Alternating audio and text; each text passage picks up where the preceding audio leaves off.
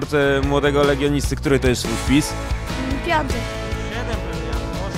Jak na razie trzy, bo czasami zapominałem, a czasami mnie nie było.